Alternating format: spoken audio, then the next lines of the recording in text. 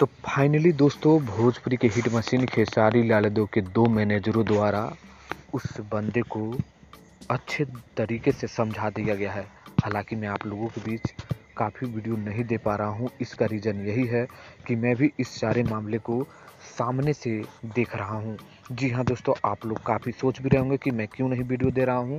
तो आप लोगों को अब रेगुलर वीडियो मिलेगा ही, लेकिन कुछ मामले को वो मैं भी देख रहा था, इसलिए थोड़ा सा शांत आप लोगों को यूट्यूब पर नज़र आ रहा था, लेकिन अब मामला थोड़े से सिलटने पर है तो आइए कुछ आप लोगों को अपडेट बता दूँ कि सवेरे सवेरे विवेक सिंह ने बताया था कि एक तुम ही राजपूत पैदा हुए हो, साले असली वाले से मुलाकात हुआ था ना, फिर से होगा और बड़ा वाला होगा।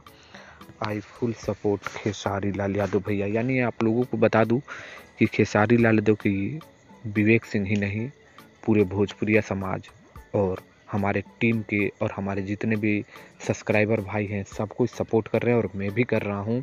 इसी बीच एक और पोस्ट आता है सोनू पांडे का कि इस लचर बाप के आँसू को देखकर मतलब क्या बताऊँ, पूरे क्रोधित हो चुके हैं सोनू पांडे भी और अपने भतीजी को, यानी अपना चाचा जो समझ सकते हैं कि उनको इंसाफ देने के लिए जो कुछ भी होगा, वो करने के लिए तैयार हैं। इसी बीच एक और अभी अभी ही पोस्ट आता है कि कुत्ते को पहला रिप्लाई दिया। चैनल को चेक कीजिए, पर ये ट्रेलर भी नहीं है, बस शुरुआत है। यानी खेसारी लाल दो की टीम पूरी तरह से एक्शन में है और ये पहला झलक है। ना कि टीजर है और ना ही ट्रेलर है।